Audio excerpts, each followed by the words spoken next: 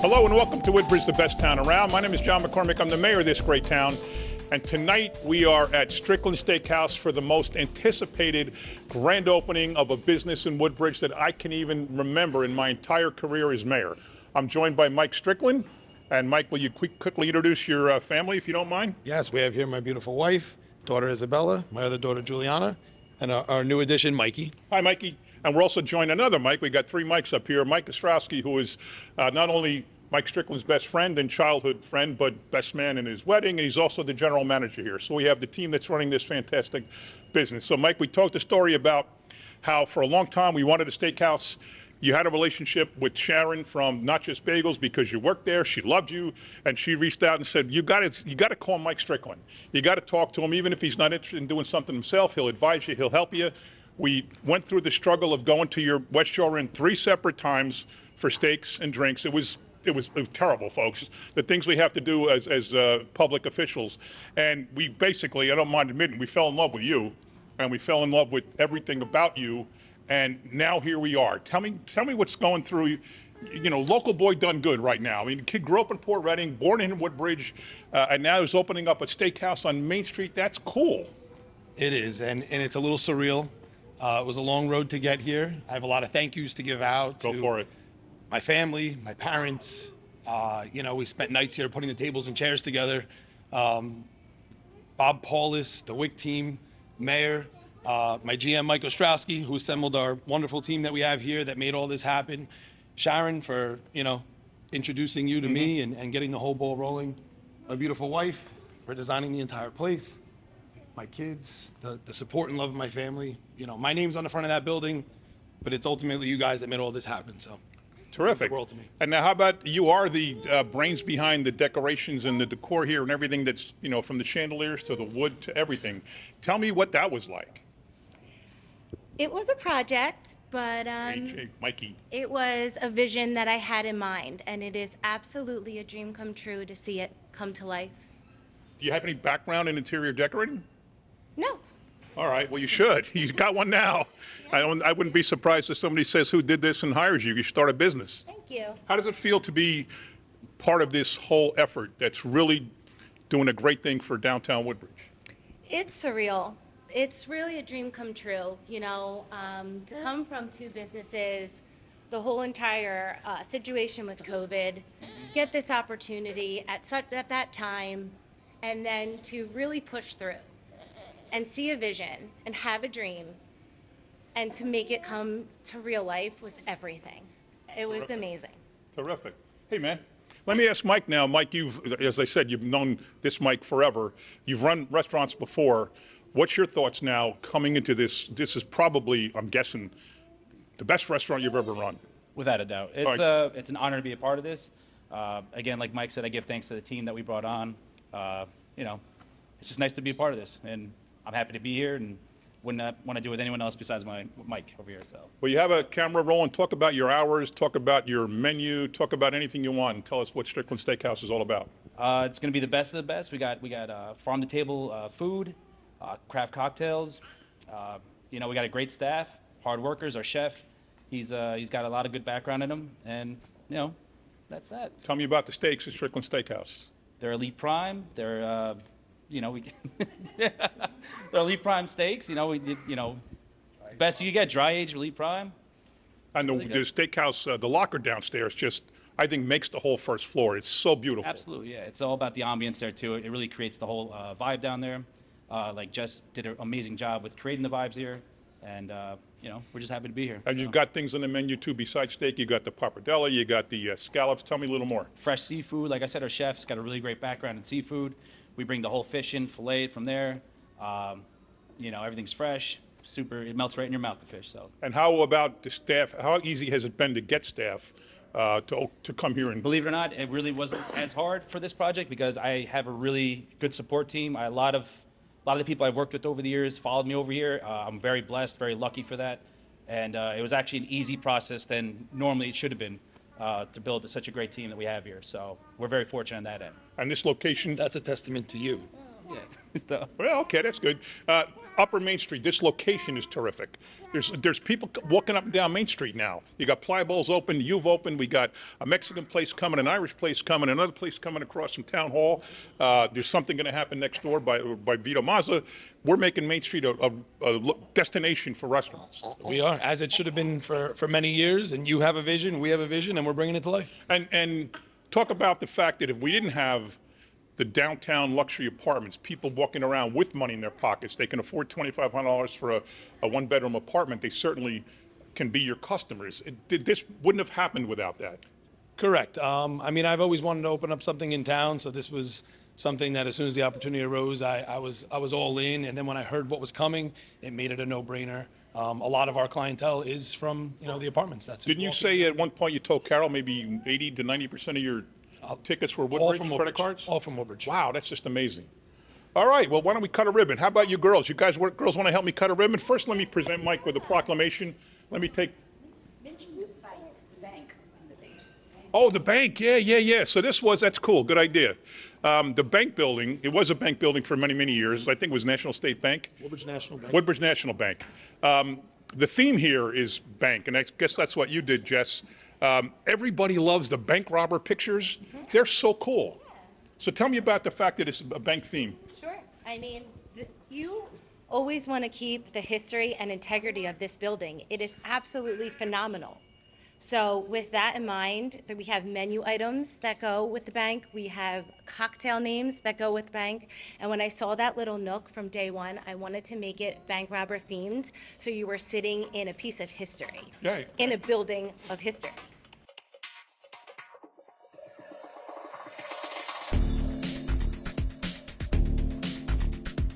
All right, five, four, three, two, one, go.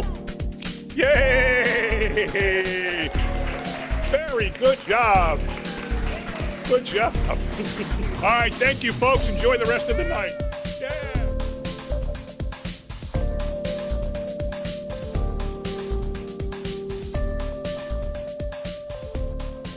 Okay, we're here now with the Woodbridge team who has been responsible for this fantastic grand opening tonight to bring Strickland Steakhouse to Woodbridge. To my right is Marta Lefsky, the planning director. To my left, Carolyn Ehrlich, the redevelopment agency director and chief of staff. And to her left, the deputy redevelopment director, Heather Lamata. So now I'm going to start with Carol because you know, as far back as I can remember, all we talked about was Steakhouse on Main Street. It was in our mm-hmm. vision.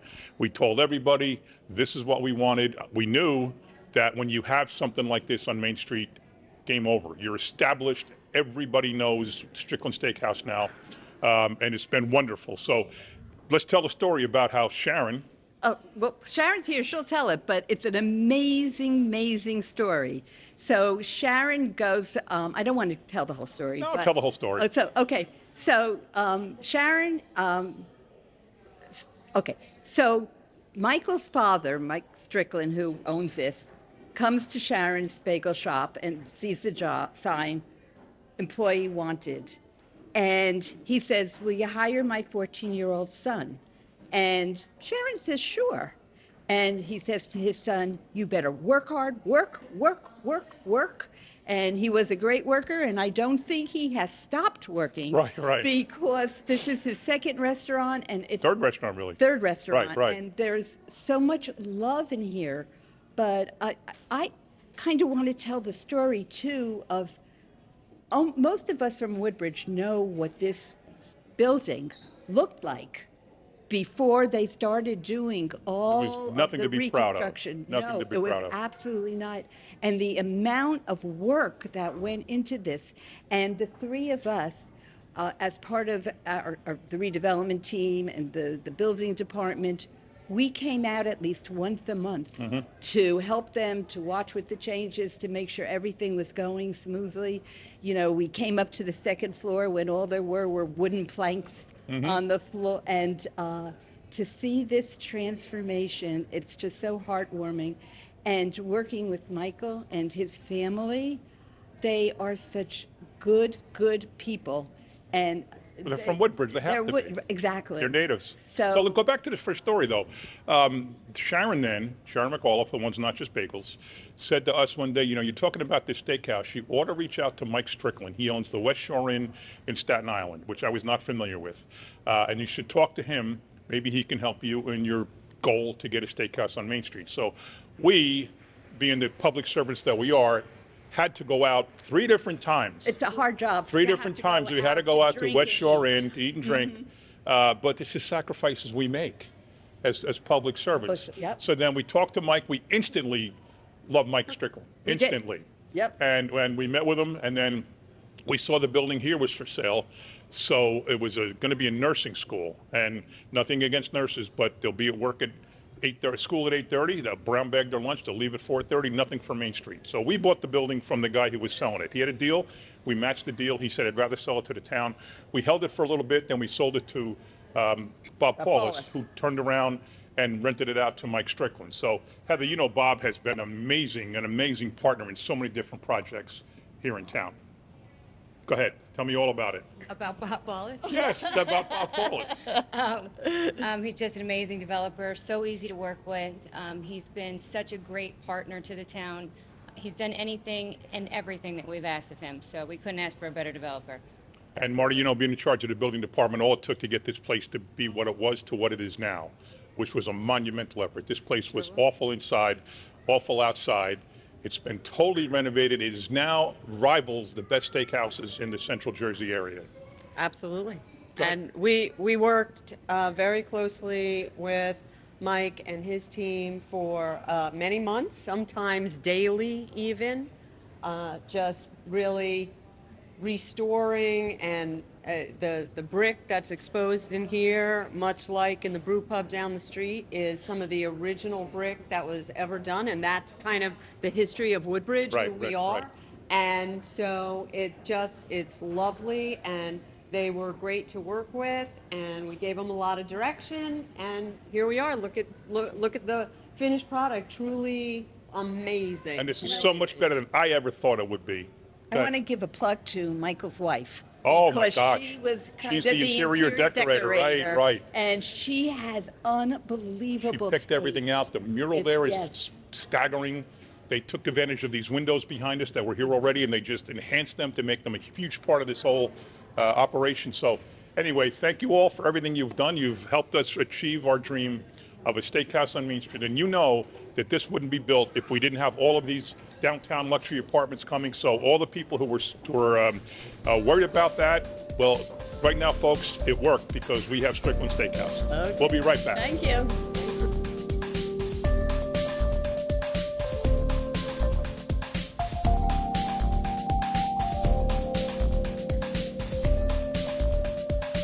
Now, I'm joined once again by Carolyn Ehrlich, Head of Redevelopment and Chief of Staff, and also Sharon McAuliffe, our current First Ward Councilwoman, and Holly Church Doyle, who's the head of the Woodbridge Chamber of Commerce.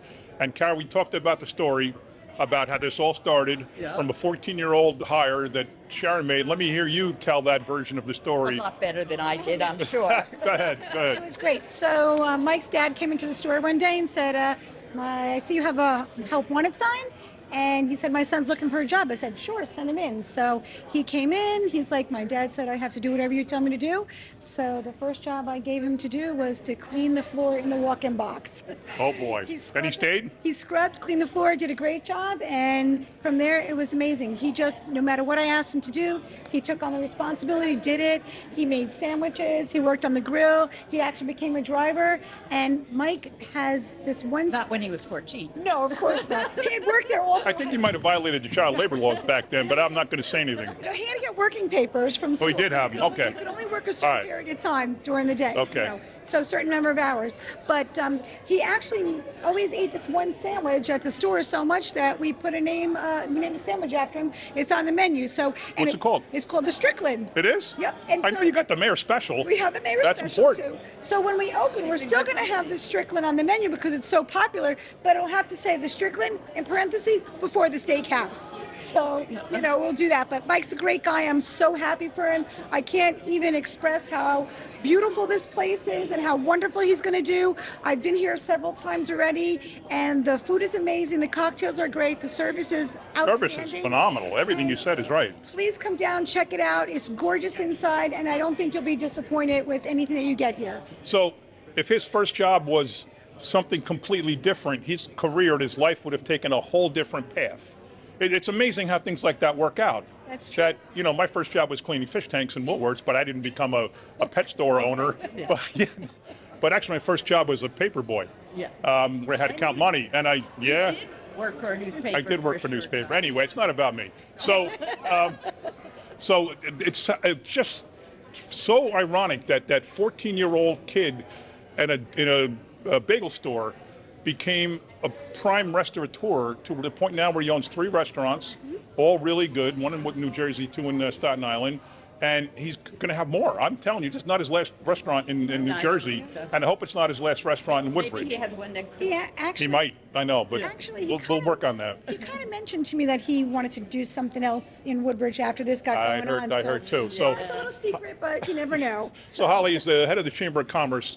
Uh, you've seen, uh, you kind of came in right in the middle of the renaissance of downtown. Um, you see what it means to have the luxury apartments, and, and you see the impact of now Playa Bowls came out of nowhere. Why, Absolutely. we didn't even try for Playa Bowls. They just got here. They just Because they saw, they looked around, they said, maybe Woodbridge, and sure enough, they're here now, and it's great. What does it mean to have Strickland Steakhouse downtown? It's absolutely amazing. You know, I had the opportunity to meet Mike and Jessica when Woodbridge Township hosted Staten Island. Woodbridge welcomed Staten Island. So that's when I met Mike and Jessica. And at that point, it was the very, very early stages. And that's when I got excited about It it. was love at first sight, right? Love at first sight. Yeah, right. And then Sharon and I had the opportunity to dine here about two weeks ago, and it was phenomenal. Mike and his wife Jessica are family oriented, kind, generous, but above all, nice people. And that's the most important thing to a community is adding those genuine, nice people. I, for one, am looking forward to their lunch hours Me too. because, as you know, my office is across the street. So everybody will know where to find me at lunchtime. And not every day. Well, not every day. But uh, and Maybe the, Fridays. And the downtown apartment complexes, which let's face it, we took a lot of heat for. Um, I think already you're paying dividends because Strickland Steakhouse is not coming here without the kind of people that are moving here and living here. Uh, he said a lot of his customers are from those apartments, and one by one, Main Tavern is going to be Lenhan's Irish Pub.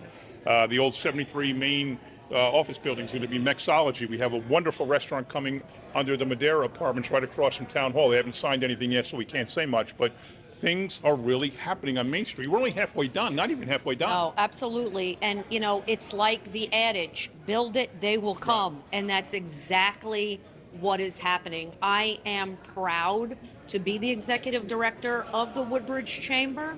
Um, a- a- and it's just been phenomenal. And like you said, Mayor, I came on board when these transitions just started to happen. And what I've seen is incredible. Very good. the next two years, the next two years, downtown Woodbridge is going to be transformed, and it's going to be the place to come eat, drink, s- listen to music, Hang out, listen and to music. hang out, and just walk around and see everything that we have here. Woodbridge is going to be the place you're going to want to be. It's going to be walkable, and it's, music is big key too, Yep. because we have a every place is going to have some version of live music. in addition to art music Right. festivals that we Which we have. are, we're crazy. Right, right up 70, front. Yeah, 70 free concerts in town. Yeah, it's, it's nuts what we go, what we got going on. Yep. So- All right, folks, thanks for watching. Strickland Steakhouse opening September 8th, 2023, a day that will live in Woodbridge history.